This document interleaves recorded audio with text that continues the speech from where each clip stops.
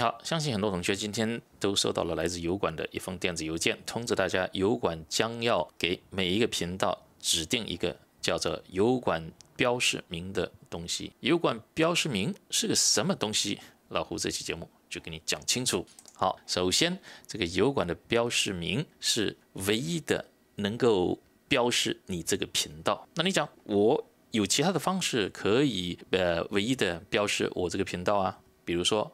每一个频道都有一个 ID 啊，在你这个频道的首页上面，上面在这个地方的最后一串那个数字，就是一个频道的 ID。但是这个频道的 ID 啊，是一个机器码，给机器看的，又不是给人看的。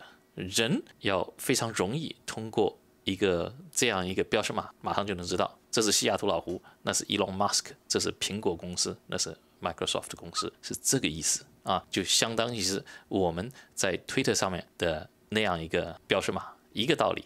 这个概念首先弄清楚啊，一个频道的标识名，它主要的用途是来唯一的标识这个频道，并且让这个使用者非常容易通过这样一个名字就知道是你，就像人的名字一样。那它怎么用呢？我们看一下啊，它会用在这个短片里面来接受这个通知。啊，它会用在你的这个首页上面，将来在你这个频道的呃名字旁边会有这样一个名字。那你讲频道名字难道不能呃唯一的标识我这个频道吗？当然不行，因为大家知道频道名字不是唯一的，你可以取跟着别人频道名字重重复的，对吧？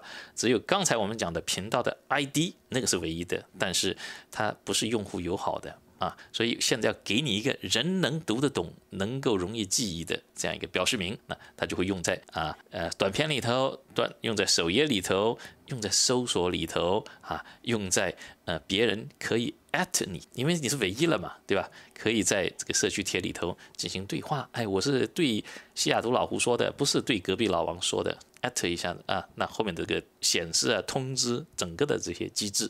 都会呃相应的改变。好，那么整理一下子呃关于这个标识名有这些啊内容的细节，我现在就给大家来理一理啊。第一个就是样式是这个样子的啊，这个不奇怪啊，就是 at 后面就是你给它取的名字。那第二个呢，它命名的规则是三到三十个字符，注意用英文的字母和数字，不能用中文。啊，那还可以用这三个特殊的字符：下划线啊，连字符和英文的句号。啊，那么这个标识名有这样一个特性，就是唯一性，不能重名，不能像现在那样频道名字可以是呃重名，因为它是唯一的，所以可以用来标识你这个西雅图老胡就是西雅图老胡啊，不是啊，Donald Trump。你知道在 Twitter 上面，Donald Trump 被一个真正叫 Donald Trump 的人注册过了。所以，当美国前总统 Donald Trump 要在 Twitter 上面注册，他要用一个唯一的标识名的时候，那他就没有办法。最后，他取的是 Real Donald Trump，真正的 Donald Trump。因为美国叫 Donald Trump 这个名字的人不是唯一的，有好几个在 Twitter 上面比美国前总统注册这个名字的人，那个人真的是 Donald Trump 啊。所以，有了微信，可以就标识你。可以查询啊！现在大家知道，很多同学最开始新创一个频道的时候，讲哦，我搜不到我这个频道啊，因为我们搜的时候就用频道的名字，当然搜不到。接下来由于有了这个标识名，你去搜它啊，那就马上就能搜得到啊，可以用来推广。你只要讲，哎，老胡的在这个油管上面的这个标识名就是 at 西雅图老胡，哎，大家一下子就能记得住啊，可以互动。刚才讲的。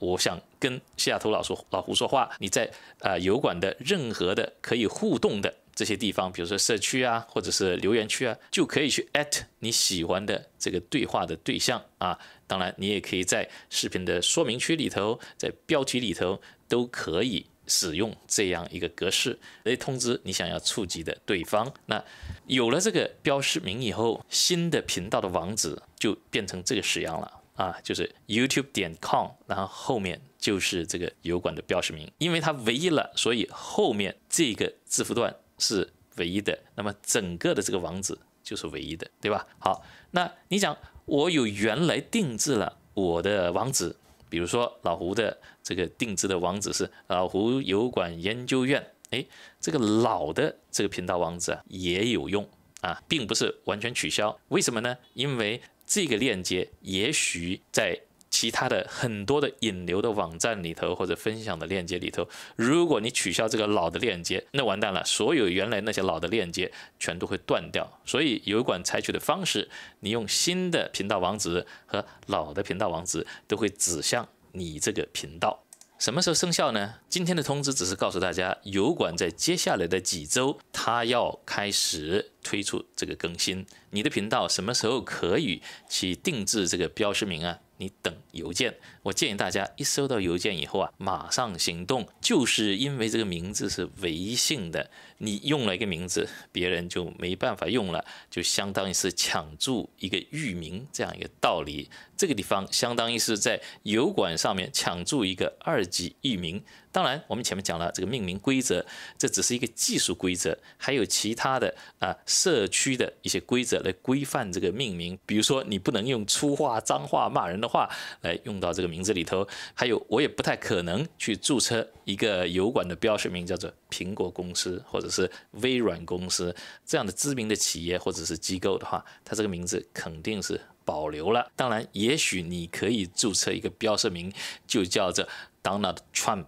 因为人的名字不是唯一的，并且在注册这个过程当中，他并不需要一个身份的验证。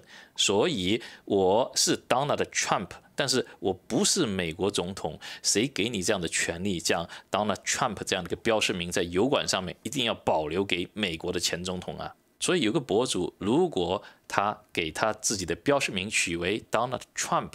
那等真正的 Donald Trump 被解封以后，想到这个地方来注册 Donald Trump，那他就没有办法注册成功，就像在 Twitter 上那样子，他要重新取另外一个名字。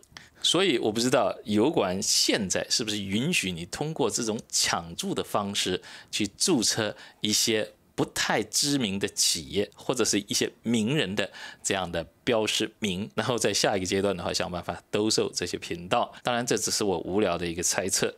相信油管的技术团队在呃实现这样一个功能的时候，应该考虑到这样一个可能性，会有什么办法把这样一个漏洞堵死？最后啊，这个标识名是可以更改的。只要你想改的那个名字啊，现在没有被别人使用。好，这就是关于油管的标识名啊的相关的信息。希望在接下来的几周啊，大家注意你的油管的后台的通知，或者是你的邮件收到通知以后，第一时间去给自己的频道啊取一个好听好记的标识名。好了，这就是今天节目的内容，谢谢，再见。